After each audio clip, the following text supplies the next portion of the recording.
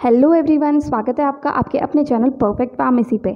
मैं हूँ सुनीता कंवर एंड आज की वीडियो के अंदर हम लोग जो हमारा सेवन सेमेस्टर का सब्जेक्ट है इंस्ट्रूमेंटल मेथड ऑफ़ एनालिसिस इसके जो प्रीवियस ईयर क्वेश्चन पेपर्स है, वो यहाँ पर डिस्कस करने वाले हैं कि उन क्वेश्चन पेपर्स के अंदर किस तरह के क्या क्या क्वेश्चन कहाँ कहाँ से क्वेश्चन जो हैं वो पूछे गए थे। तो यहाँ पर हमारे पास इंस्ट्रूमेंटल मैथड ऑफ़ एनालिसिस जो इसके चार क्वेश्चन पेपर है तो उन चारों को ही हम लोग यहाँ पर डिस्कस करने वाले हैं। ठीक है?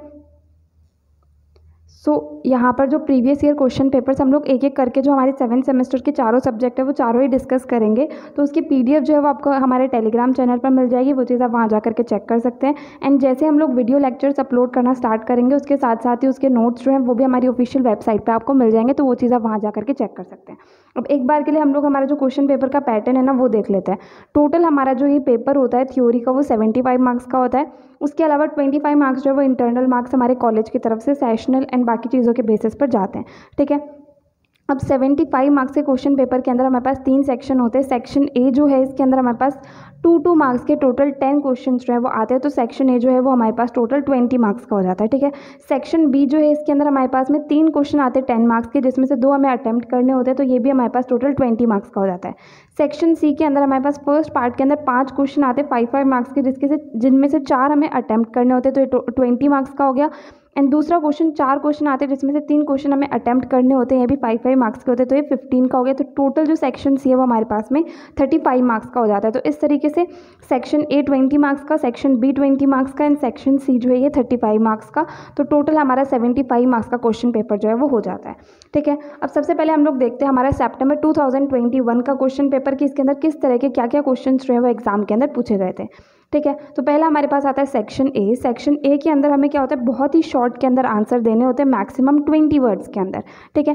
तो इसके अंदर सबसे फ़र्स्ट क्वेश्चन आता है डिफाइन बियर लैम्बर्ट्स लॉ तो बियर लैम्बर्ट्स लॉ क्या होता है? उसकी डेफिनेशन जो है वो सिंपली हमें यहाँ पर लिखनी है। Second is what is quenching in fluorometry जो फ्लोरीमेट्री होती है, उसके अंदर क्वेंचिंग का मतलब क्या होता है, वो हमें यहाँ पर बताना है।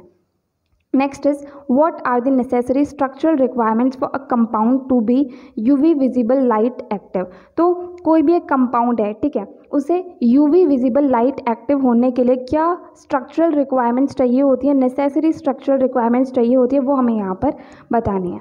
Next is why CH stretching appears at higher wave number than the CCl stretching vibration in IR spectroscopy? तो IR spectroscopy के अंदर जो CH stretching होती है, वो हायर वेव पे हमें क्यों दिखती है as compare to C C L stretching vibration तो ये चीज़ हमें यहाँ पर इसका रीज़न जो है वो बताना है। Next is name the diluents use for solid sample in I R spectroscopy why it is use तो कौन से डायलवेंट्स जो हैं वो सॉलिड सैंपल के लिए आईआर स्पेक्ट्रोस्कोपी के अंदर यूज़ होते हैं एंड उन्हें क्यों यूज़ करा जाता है वो चीज़ हम लोग को यहाँ पर बतानी है। Now next is principle of flame photometry तो फ्लेम फोटोमेट्री जो इसका प्रिंसिपल क्या होता है, वो हम लोग को यहाँ पर बताना है। नेक्स्ट इज़ पार्टीशन कोफिशियंट तो ये हम कब से ही पढ़ते आ रहे हैं तो यहाँ पर पार्टीशन कोफिशियंट क्या होता है, उसकी सिंपली डेफिनेशन जो है, वही हम लोग यहाँ पर बताएँगे। Next is significance of R F value तो आर एफ़ वैल्यू जो है, इसका क्वेश्चन मैंने देखा है, हर पेपर के अंदर इसका क्वेश्चन जो है, वो पूछा गया है। तो आर एफ़ वैल्यू जो है, वो एग्ज़ाम के लिए बहुत ज़्यादा इंपॉर्टेंट होती है, इसे हम लोग रिटेंशन फैक्टर जो है आर एफ़ को कहते हैं। नेक्स्ट इज़ डेरिविटाइजेशन इन जी सी तो जी सी है गैस क्रोमेटोग्राफिक तो गैस क्रोमेटोग्राफी के अंदर डेरिविटाइजेशन जो है, इसका क्या मतलब होता है, इसके टाइप्स क्या होते हैं, वो चीज़ें जो है वो हमें बहुत ही ब्रीफ के अंदर यहाँ पर बतानी है। Next is application of gel chromatography तो जेल क्रोमेटोग्राफी जो होती है, इसकी एप्लीकेशंस क्या है हमारे पास में, वो हमें यहाँ पर बतानी है। ठीक है? नाउ नेक्स्ट आता है हमारे पास में सेक्शन बी अब सेक्शन बी के अंदर हमारे पास टेन मार्क्स के क्वेश्चन आएँगे, ठीक है? तो पहला क्वेश्चन आता है व्हाट आर फंडामेंटल वाइब्रेशंस तो फंडामेंटल वाइब्रेशंस जो है, वो होती क्या है? Then describe different modes of vibration in I R spectrophotometry तो अलग अलग जो मोड्स ऑफ़ वाइब्रेशन होते हैं आई आर स्पेक्ट्रोफोटोमेट्री के अंदर उन्हें डिस्क्राइब करना है। Last is discuss the various factors affecting fundamental vibrations fundamental vibrations को इफ़ेक्ट करने वाले अलग अलग फैक्टर्स कौन से होते हैं, वो हमें यहाँ पर डिस्कस करना है, ठीक है? Now next question is describe the principle instrumentation and application of the following तो यहाँ पर दो टर्म्स हमारे पास दी गई हैं। इनका प्रिंसिपल क्या है? इनका इंस्ट्रूमेंटेशन किस तरीके से होता है? इनकी एप्लीकेशन क्या है? वो हम लोग को यहाँ पर बतानी है। तो first is A A S S का मतलब होता है एटमिक एब्जॉर्प्शन स्पेक्ट्रोस्कोपी एंड दूसरा है नेफिलो टर्बिडोमेट्री इन दोनों के ये किस प्रिंसिपल के ऊपर काम करते हैं? इनका इंस्ट्रूमेंटेशन किस तरीके से होता है? इनके एप्लीकेशंस क्या क्या है? वो सिंपली हम लोग को यहाँ पर बतानी है. Next is define electrophoresis discuss various factors affecting electrophoretic mobility and application of electrophoresis सबसे पहले इलेक्ट्रोफोरेसिस होता क्या इसकी डेफिनेशन हम लोग को बतानी है. उसके बाद में जो अलग अलग फैक्टर्स इलेक्ट्रोफोरेटिक मोबिलिटी को इफ़ेक्ट करते हैं, उनके बारे में बताना है एंड लास्ट इलेक्ट्रोफोरेसिस की एप्लीकेशंस क्या होती है, वो हम लोग को यहाँ पर बतानी है। ठीक है? नेक्स्ट हमारे पास में आएगा सेक्शन सी सेक्शन सी के अंदर हमारे पास फाइव मार्क्स के क्वेश्चन आते हैं। ठीक है, इसके अंदर फ़र्स्ट क्वेश्चन आएगा describe various electronic transition with the help of energy orbital diagram तो जो अलग अलग इलेक्ट्रॉनिक ट्रांजिशंस होते हैं एनर्जी ऑर्बिटल डायग्राम की मदद से हमें उन्हें डिस्क्राइब यहाँ पर करना है। ठीक है? Next is what are internal and external conversions in fluorometry discuss the various factors which affect fluorescence तो पहले तो जो अलग अलग इंटरनल एंड एक्सटर्नल कन्वर्जेंट्स होते हैं फ्लोरीमेट्री के अंदर, वो होते क्या हैं? पहले हमें वो बताना है। उसके बाद में जो अलग अलग फैक्टर्स होते हैं जो फ्लोरेसेंस को इफ़ेक्ट करते हैं, उनके बारे में हमें यहाँ पर बताना है। Now next is discuss the methodology and applications of partition column chromatography so जो पार्टीशन कॉलम क्रोमेटोग्राफी होती है, उसकी मैथडोलॉजी क्या है एंड दूसरी उसकी एप्लीकेशंस क्या है, वो चीज़ हम लोग को यहाँ पर बतानी है। Next is give a detailed account on gas chromatography तो गैस क्रोमेटोग्राफी के बारे में यहाँ पर हमें डिटेल के अंदर लिखना है, जितनी भी चीज़ें हमें पता है एंड वो ढाई से तीन पेजेस के अंदर हम लोग को यहाँ पर कवर करनी है, क्योंकि ये जो क्वेश्चन है वो सिर्फ़ फाइव मार्क्स का है तो बहुत ज़्यादा भी हमें यहाँ पर नहीं लिखना है। ठीक है? Next is describe the methodology and development techniques of paper chromatography तो पेपर क्रोमेटोग्राफी जो इसकी मैथडोलॉजी क्या होगी? एंड डेवलपमेंट टेक्निक्स क्या होंगी पेपर क्रोमेटोग्राफी की, वो हमें यहाँ पर बतानी है। Now next question is describe the effect of solvent on absorption spectra तो एब्जॉर्प्शन स्पेक्ट्रा के ऊपर सॉल्वेंट का क्या इफ़ेक्ट होता है, वो हमें यहाँ पर डिस्क्राइब करना है। Next is give principle interferences and applications of flame photometry तो जो फ्लेम फोटोमेट्री होती है, इसका प्रिंसिपल क्या होता है, इसके इंटरफेरेंसेज क्या होते हैं, इसके एप्लीकेशंस क्या होती है, वो हम लोग को यहाँ पर बतानी है। Next is describe the instrumentation and applications of H P L C तो ये भी हमारे पास में क्रोमेटोग्राफी टेक्निक है। तो इसका इंस्ट्रूमेंटेशन किस तरीके से होता है, इसके एप्लीकेशंस क्या होते हैं, वो हम लोग को यहाँ पर बतानी है। Next is what are spectrophotometry titrations describe single and multi component analysis in spectrophotometric titrations तो पहले तो ये बताना कि स्पेक्ट्रोफोटोमेट्री टाइट्रेशंस जो हैं, वो क्या होती हैं। उसके बाद में single and multi component analysis जो होता है स्पेक्ट्रोफोटोमेट्रिक टाइट्रेशंस के अंदर, उसे यहाँ पर हमें डिस्क्राइब करना है। ठीक है तो ये हमारा कंप्लीट सेप्टेम्बर टू का क्वेश्चन पेपर था। नाउ सेकंड हमारा आएगा अप्रैल 2022 का इंस्ट्रूमेंटल मेथड ऑफ़ एनालिसिस का क्वेश्चन पेपर तो हम लोग को पता है कि जो मेन एग्ज़ाम होता है एंड सेमेस्टर एग्ज़ाम वो साल में एक बार होता है एंड दूसरी बार जो एग्ज़ाम होता है, वो री एग्जामिनेशन का होता है। तो यहाँ पर कुछ क्वेश्चन पेपर री एग्जामिनेशन के एंड कुछ जो है वो मेन एग्ज़ाम के हैं, ठीक है? तो अब इसके अंदर हमारे पास में फ़र्स्ट क्वेश्चन क्या आएगा? What is Beer's law two marks वाले क्वेश्चन से है तो बियर्स लॉ क्या होता है, वो हम लोग को यहाँ पर बताना है, ठीक है? Second is what is P M T in U V visible spectroscopy तो जो यू वी विजिबल स्पेक्ट्रोस्कोपी होती है, उसके अंदर पी एम टी का मतलब क्या होता है, वो हम लोग को यहाँ पर बताना है। Next is calculate number of fundamental vibrations in C O two molecule तो जो कार्बन डाइऑक्साइड मॉलिक्यूल होता है सी ओ टू मॉलिक्यूल उसके अंदर कितने नंबर ऑफ़ फंडामेंटल वाइब्रेशंस होते हैं, वो हमें कैलकुलेट करने हैं। Next is enlist various fuel oxidant mixtures use in flame photometry तो फ्लेम फोटोमेट्री के अंदर जो अलग अलग फ्यूल ऑक्सीडेंट मिक्सचर्स को यूज़ करा जाता है, उसकी लिस्ट उसके नाम जो है वो हम लोग को यहाँ पर मेंशन करने हैं। Next is write any one application of A A S तो जो एटमिक एब्जॉर्प्शन स्पेक्ट्रोस्कोपी होती है, उसकी कोई भी एक एप्लीकेशन जो है वो हम लोग को यहाँ पर लिखनी है। Next is define R F values वही वापस से आर एफ़ का क्वेश्चन आ गया तो आर एफ़ वैल्यूज़ क्या होती है? उसकी डेफिनेशन जो है वो हम लोग को यहाँ पर लिखनी है। Next is write any two advantages of paper chromatography तो पेपर क्रोमेटोग्राफी के कोई भी दो एडवांटेजेस जो होते हैं, उसके कोई भी दो जो फ़ायदे होते हैं, वो हमें यहाँ पर बताने हैं। Next is what is derivatization in gas chromatography तो ये क्वेश्चन भी पिछले पेपर के अंदर था कि गैस क्रोमेटोग्राफी के अंदर डेरिवेटाइजेशन जो है वो क्या होता है, वो हम लोग को यहाँ पर बताना है। Next is what is principle of H P L C अब एच पी एल सी जो इसका क्या प्रिंसिपल होता है, किस प्रिंसिपल के ऊपर काम करता है, वो हम लोग को यहाँ पर बताना है। Next is what is affinity chromatography अब एफिनिटी क्रोमेटोग्राफी जो है, इसका क्या मतलब होता है, वो हम लोग को यहाँ पर बताना है। ठीक है? तो ये हमारा कंप्लीट हो गया सेक्शन है मतलब टू मार्क्स के क्वेश्चन जो वो यहाँ पर कंप्लीट हो गए। नेक्स्ट आता है सेक्शन बी जिसके अंदर हमारे पास में टेन मार्क्स के क्वेश्चन जो है वो रहेंगे। तो first is describe construction and working of double beam UV visible spectrophotometer तो जो double beam UV visible spectrophotometer होता है, उसका कंस्ट्रक्शन किस तरीके से होता है और उसकी वर्किंग किस तरीके से होती है, वो कंप्लीट डिटेल के अंदर जो हम लोग को यहाँ पर डिस्क्राइब करनी है। Next is discuss factors affecting vibrational frequency in IR तो आईआर जो हमारे पास में है, उसके अंदर वाइब्रेशनल फ्रीक्वेंसी को इफ़ेक्ट करने वाले फैक्टर्स कौन कौन से होते हैं, वो बिल्कुल डिटेल के अंदर जो है यहाँ पर हमें डिस्कस करने हैं। Next is explain detectors use in gas chromatography तो गैस क्रोमेटोग्राफी के अंदर जो डिटेक्टर्स यूज़ होते हैं, उनके बारे में हम लोग को यहाँ पर जो है डिटेल के अंदर लिखना है। नेक्स्ट हमारे पास में आएगा सेक्शन सी सेक्शन सी के अंदर हमारे पास के फाइव मार्क्स के क्वेश्चन हैं। तो इसके अंदर first question is explain deviations from Beer's law तो जो बियर्स लॉ है, इससे जो डेविएशंस होते हैं मतलब वो किस किस सिचुएशन के अंदर होते हैं, किस तरीके से होते हैं, वो कम्प्लीटली डिटेल के अंदर हमें यहाँ पर एक्सप्लेन करने हैं। Next is discuss instrumentation of flame photometry तो जो फ्लेम फोटोमेट्री है, इसके इंस्ट्रूमेंटेशन को कम्प्लीटली डिटेल के अंदर हमें यहाँ पर एक्सप्लेन करना है। Next is describe factors affecting electrophoretic mobility तो इलेक्ट्रोफोरेसिस के अंदर जो इलेक्ट्रोफोरेटिक मोबिलिटी होती है, उसे इफ़ेक्ट करने वाले फैक्टर्स जो है, उन्हें यहाँ पर हमें डिस्क्राइब करना है। Next is write mechanism of ion exchange process तो जो आयन एक्सचेंज का प्रोसेस होता है, उसका मैकेनिज्म क्या होता है, वो किस तरीके से काम करता है, पूरा उसका कंप्लीट मैकेनिज्म जो हम लोग को यहाँ पर बताना है। Next is write application of H P L C तो एच पी एल सी की एप्लीकेशन क्या है? वो यहाँ पर डिटेल के अंदर हमें डिस्कस करनी है। Now next question is discuss solvent effects on absorption spectra तो एब्जॉर्प्शन स्पेक्ट्रा के ऊपर सॉल्वेंट के क्या इफेक्ट्स होते हैं, वो हम लोग को यहाँ पर बताने हैं। Next is explain factors affecting fluorescence तो फ्लोरोसेंस को इफ़ेक्ट करने वाले जो भी फैक्टर्स होते हैं, वो हमें यहाँ पर एक्सप्लेन करने हैं।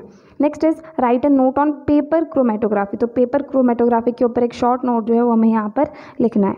Next is describe gel chromatography in brief तो जेल क्रोमेटोग्राफी को बहुत ही ब्रीफ के अंदर यहाँ पर हमें डिस्क्राइब करना है। ठीक है तो ये हमारा कंप्लीट हो गया अप्रैल 2022 का question paper now next paper आता है नवंबर 2022 का इंस्ट्रूमेंटल मेथड ऑफ़ एनालिसिस का पेपर ठीक है? तो सबसे पहले आएगा सेक्शन नहीं यहाँ पर हमारे पास टू मार्क्स वाले क्वेश्चन है। तो इसके अंदर first question is write a note on normal phase and reverse phase chromatography तो एक तो नॉर्मल फ़ेज़ क्रोमेटोग्राफी एंड एक रिवर्स फ़ेज़ क्रोमेटोग्राफी ये दोनों क्या होती है? इनके बारे में बहुत ही शॉर्ट के अंदर जो हमें यहाँ पर लिखना है। Next is give two application of electrophoresis तो इलेक्ट्रोफोरेसिस की कोई भी दो एप्लीकेशन जो है हमें यहाँ पर लिखनी है। Next is write differences between T L C and paper chromatography तो thin layer chromatography and paper chromatography इनके बीच में क्या डिफरेंसेस होते हैं, वो हम लोग को यहाँ पर लिखने हैं। Next is give the principle of flame photometry तो फ्लेम फोटोमेट्री जो है, ये किस प्रिंसिपल के ऊपर वर्क करता है, इसका प्रिंसिपल क्या होगा, वो हमें यहाँ पर बताना है। Next is give two limitations of gas chromatography तो अब गैस क्रोमेटोग्राफी की कोई भी दो लिमिटेशंस क्या है, वो हमें यहाँ पर बतानी है। Now next is give principle of ion exchange chromatography अब आयन एक्सचेंज क्रोमेटोग्राफी जो है, ये किस प्रिंसिपल के ऊपर वर्क करती है, वो हमें बताना है। Next is define bathochromic shift and hyperchromic shift तो bathochromic shift and hyperchromic shift दोनों की डेफिनेशन जो है, वो हम लोग को यहाँ पर लिखनी है। Next is give two limitations of atomic absorption spectroscopy तो एटमिक एब्जॉर्प्शन स्पेक्ट्रोस्कोपी जो होती है, इसकी कोई भी दो लिमिटेशंस जो है, वो हम लोग को यहाँ पर बतानी है। तो हमने देखा कि टू मार्क्स के अंदर इसमें से भी क्वेश्चन आ ही, आ रहा है हर बार एटमिक एब्जॉर्प्शन स्पेक्ट्रोस्कोपी से। ठीक है? Next is discuss the theory of turbidimetry तो टर्बिडीमेट्री जो है, इसकी थ्योरी जो है, वो हम लोग को यहाँ पर बतानी है। Next is define singlet and triplet excited states तो जो सिंगलेट एग्जिट स्टेट होती है एंड ट्रिपलेट एग्जिटेड स्टेट होती है। इन दोनों की डेफिनेशन जो है, सिर्फ़ और सिर्फ़ डेफिनेशन हम लोगों को यहाँ पर लिखनी है। अब नेक्स्ट आएगा सेक्शन बी सेक्शन बी के अंदर हमारे पास आ जाएँगे टेन मार्क्स के क्वेश्चन ठीक है? First question is discuss the theory instrumentation and application of H P L C तो एच पी एल सी जो है, इसकी थ्योरी इसका इंस्ट्रूमेंटेशन एंड इसकी एप्लीकेशन क्या होती है, वो यहाँ पर हमें डिटेल के अंदर बतानी है। Next is discuss the theory instrumentation and working of double beam U V visible spectrophotometer give the application of U V visible spectroscopy तो सबसे पहले तो जो double beam U V visible spectrophotometer होता है, इसकी थ्योरी इसका इंस्ट्रूमेंटेशन यानी किस तरीके से काम करता है, इसकी वर्किंग जो है वो हमें यहाँ पर लिखनी है। उसके बाद में जो यू यूवी विजिबल स्पेक्ट्रोस्कोपी होती है, उसकी एप्लीकेशन क्या है, वो हम लोग को बतानी है। ठीक है? थर्ड क्वेश्चन आ जाएगा डिस्कस दी फॉलोइंग मतलब इन दोनों के ऊपर हमें बताना है। पहला आता है factors affecting vibration frequency in I R photometry तो आई आर फोटोमेट्री के अंदर जो फैक्टर्स वाइब्रेशन फ्रीक्वेंसी को इफ़ेक्ट करते हैं, वो हम लोग को यहाँ पर बताना है। Next theory in application of gel electrophoresis तो जो जेल इलेक्ट्रोफोरेसिस है, इसकी थ्योरी क्या है इसकी एप्लीकेशन क्या क्या होती है, वो हम लोग को यहाँ पर बतानी है। नाउ नेक्स्ट आएगा सेक्शन सी अब सेक्शन सी के अंदर हम लोग को क्या फाइव मार्क्स के क्वेश्चन दिए गए हैं तो इसका आंसर जो है हमें वो ढाई से तीन पेजेस के अंदर कंप्लीट करना है। तो first is write a note on the burners used in flame photometry तो फ्लेम फोटोमेट्री के अंदर जो बर्नर्स यूज़ होते हैं, उसके ऊपर एक शॉर्ट नोट जो है हमें यहाँ पर लिखना है। Next is define Beer Lambert's law discuss the causes of deviation from it तो बियर लैम्बर्ट्स लॉ क्या होता है, उसकी सिंपली डेफिनेशन लिखनी है इसके अंदर जो भी डेविएशंस होते हैं, उसके कॉजेज क्या होंगे वो बताना, ठीक है? तो अब जो बियर लैम्बर्ट्स लो है ये हमारे पास हर पेपर के अंदर ही पूछा गया है तो ये टॉपिक हमारे लिए बहुत ज़्यादा इंपॉर्टेंट बन जाता है तो ये तो हमें सबसे पहले पढ़ना ही पढ़ना है, ठीक है? Next is discuss the methodology of paper chromatography तो पेपर क्रोमेटोग्राफी जो इसकी मैथडोलॉजी जो है, वो हमें यहाँ पर डिस्कस करनी है। Next is discuss the factors affecting ion exchange in IEC तो आईईसी जो हमारे पास में क्रोमेटोग्राफी आयन एक्सचेंज क्रोमेटोग्राफी इसको इफ़ेक्ट करने वाले फैक्टर्स जो हैं आयन एक्सचेंज को, वो हमें यहाँ पर डिस्कस करना है। तो सिंपली आयन एक्सचेंज क्रोमेटोग्राफी के अंदर आयन एक्सचेंज को इफ़ेक्ट करने वाले फैक्टर्स जो है, वो हम लोग को यहाँ पर लिखने हैं एंड उनके बारे में थोड़ा सा डिटेल के अंदर बताना है। Next is write a note on the detectors use in I R spectrophotometers तो आई आर स्पेक्ट्रोफोटोमीटर्स के अंदर जो डिटेक्टर्स यूज़ होते हैं, उनके ऊपर एक शॉर्ट नोट जो है हमें यहाँ पर लिखना है। Next is define electrophoretic mobility discuss various factors affecting it तो इलेक्ट्रोफोरेटिक मोबिलिटी क्या होती है? इसकी डेफिनेशन हम लोग को बतानी है। देन जो बहुत सारे फैक्टर्स होते हैं, इसे इफ़ेक्ट करने वाले, उनके बारे में भी हम लोग को यहाँ पर बताना है। Next is discuss the principle and application of A A S तो ए ए एस का क्वेश्चन भी हमारे पास हर पेपर के अंदर आया जो कि एटमिक एब्जॉर्प्शन स्पेक्ट्रोस्कोपी तो इसका प्रिंसिपल क्या है? इसके एप्लीकेशन क्या है, वो हम लोग को यहाँ पर बतानी है। Next is write a note on the detectors of gas chromatography तो गैस क्रोमेटोग्राफी के अंदर जो डिटेक्टर्स यूज़ होते हैं, उसके ऊपर एक शॉर्ट नोट जो है हम लोग को यहाँ पर लिखना है। Next is discuss the factors affecting the fluorescence तो फ्लोरोसेंस को इफ़ेक्ट करने वाले जो भी फैक्टर्स होते हैं, उनके बारे में हम लोग को यहाँ पर बताना है। तो यहाँ पर हमारा नवंबर 2022 का क्वेश्चन पेपर जो है, वो कंप्लीट होता है। Now last paper fourth paper जो है इंस्ट्रूमेंटल मेथड ऑफ़ एनालिसिस का, वो हमारे पास लास्ट मई 2023 का री एग्जामिनेशन का क्वेश्चन पेपर है, ठीक है? तो पहला आता है सेक्शन है जिसके अंदर हमारे पास में टू मार्क्स के क्वेश्चन रहेंगे। तो first is define chromophore and auxochrome with suitable examples तो क्रोमोफोर की डेफिनेशन एंड एग्जाम्पल्स ऑक्जोक्रोम की डेफिनेशन एंड एग्जाम्पल्स जो है वो हम लोग को यहाँ पर बताने हैं। Next is what is the general column अब जनरल कॉलम क्या होता है वो हम लोग को यहाँ पर बताना है। Next is what is electrophoresis तो इलेक्ट्रोफोरेसिस की डेफिनेशन उसके बारे में थोड़ा बहुत जो है हम लोग यहाँ पर बता सकते हैं। Next is what is quenching अब क्वेंचिंग क्या होता है वो हमें बताना है। What is fingerprint region in I R spectroscopy तो आई आर स्पेक्ट्रोस्कोपी के अंदर फिंगरप्रिंट रीजन क्या होता है, वो हम लोग को यहाँ पर बताना है। Next is what is affinity chromatography तो एफिनिटी क्रोमेटोग्राफी क्या होती है? इसकी डेफिनेशन हम लोग को यहाँ पर बतानी है। Next is what is derivatization in gas chromatography तो ये सेम ही क्वेश्चन जो है, वो हमारे पास तीन बार पूछा गया है। तो ये टॉपिक अपने आप ही इंपॉर्टेंट एग्ज़ाम के लिए हो जाता है, ठीक है? तो गैस क्रोमेटोग्राफी के अंदर डेरिवेटाइजेशन क्या होता है, वो हम लोग को यहाँ पर बताना है। Next is what is normal phase and reverse phase chromatography normal phase chromatography क्या होती है? रिवर्स फ़ेज़ क्रोमेटोग्राफी क्या होती है? वो हम लोग को यहाँ पर बताना है। Next is define the term retention factor तो आर एफ़ हम कब से पढ़े जा रहे हैं? तो रिटेंशन फैक्टर जो इसका मतलब क्या होता है? इसकी डेफिनेशन जो है, वो सिंपली हम लोग को यहाँ पर बतानी है। Next is what is edge effects how to minimize it तो एज इफेक्ट्स का मतलब क्या होता है? उसे मिनिमाइज किस तरीके से करा जाता है? वो यहाँ पर हम लोग को बताना है। नेक्स्ट आएगा सेक्शन बी इसके अंदर हमारे पास के टेन मार्क्स के क्वेश्चन आ जाते हैं। तो टेन मार्क्स के क्वेश्चन का आंसर जो हम फाइव टू सिक्स पेजेस के अंदर लिख सकते हैं। मतलब ये मैक्सिमम है फाइव टू सिक्स पेजेस बाकी उससे कम में भी आपका आंसर जहाँ तक जितना आप लिख सको उतना लिख सकते हो। तो first question is write the principle techniques and application of ion exchange chromatography ion exchange chromatography का प्रिंसिपल क्या है? इसके टेक्निक्स क्या क्या होते हैं? इसकी एप्लीकेशन क्या होते हैं? वो हम लोग को यहाँ पर बतानी है। Next is explain about the various detectors use in HPLC तो एचपीएलसी के अंदर जो अलग अलग डिटेक्टर्स यूज़ होते हैं, उनके बारे में हमें यहाँ पर अच्छे से एक्सप्लेन करना है। Next is explain the separation techniques involve in column chromatography तो कॉलम क्रोमेटोग्राफी के अंदर जो अलग अलग सेपरेशन टेक्निक्स इन्वॉल्व होती हैं, उन्हें हमें यहाँ पर एक्सप्लेन करना है। अब नेक्स्ट हमारे पास आएगा सेक्शन सी सेक्शन सी के अंदर हमारे पास फाइव मार्क्स के क्वेश्चन आएँगे। तो first is name the molecular vibrations in I R spectroscopy तो आई आर स्पेक्ट्रोस्कोपी के अंदर जो मॉलिकुलर वाइब्रेशंस होते हैं, उनके नाम जो है हम लोगों को यहाँ पर लिखने हैं। Next is what is two dimensional paper chromatography तो टू डायमेंशनल पेपर क्रोमेटोग्राफी क्या होती है, उसके बारे में हमें यहाँ पर लिखना है। Next is define fluorescence and phosphorescence तो फ्लोरोसेंस क्या होता है? उसकी डेफिनेशन उसके बारे में थोड़ा बहुत तो हमें यहाँ पर लिखना पड़ेगा। सिर्फ़ डेफिनेशन लिख के हम लोग नहीं छोड़ सकते। तो इन दोनों की डेफिनेशन है। इनके बारे में थोड़ा बहुत जो हम लोग को यहाँ पर बताना है। Next is what are the elution techniques in column chromatography तो कॉलम क्रोमेटोग्राफी के अंदर इल्यूशन टेक्निक्स क्या होती हैं, वो हम लोग को यहाँ पर बतानी है। Next is how aldehydes and ketones can be differentiated in I R spectrum तो आई आर स्पेक्ट्रम के अंदर एल्डिहाइड्स एंड कीटोन्स को किस तरीके से डिफ्रेंशिएट अलग अलग करा जा सकता है, वो हम लोग को यहाँ पर बताना है। ना next is what is molar extension coefficient तो मोलर एक्सटेंशन कोफिशियंट क्या होता है? उसके बारे में हम लोग को यहाँ पर बताना है। Next is explain the principle and theory of gel chromatography तो जेल क्रोमेटोग्राफी का प्रिंसिपल क्या है? उसकी थ्योरी जो है वो कंप्लीट हम लोग को यहाँ पर बतानी है। Next is explain the various methods of preparation of TLC तो टीएलसी के जो अलग अलग मैथड्स ऑफ़ प्रिपरेशन होते हैं, वो हम लोग को यहाँ पर बताने हैं। Next is define bathochromic shift तो बाथोक्रोमिक शिफ्ट क्या होता है? उसकी डेफिनेशन एंड उसके बारे में थोड़ा बहुत यहाँ पर हमें लिखना है। Next is write application of flame photometry तो फ्लेम फोटोमेट्री की एप्लीकेशन क्या होती है, वो हम लोग को यहाँ पर मैंशन करनी है। तो यहाँ पर हमारा मई 2023 का भी क्वेश्चन पेपर कंप्लीट होता है। तो टोटल फोर क्वेश्चन पेपर जो है हमारे पास में है इंस्ट्रूमेंटल मेथड ऑफ़ एनालिसिस के। तो ये मोर देन एनफ है हमें एग्ज़ाम की प्रिपरेशन करने के लिए।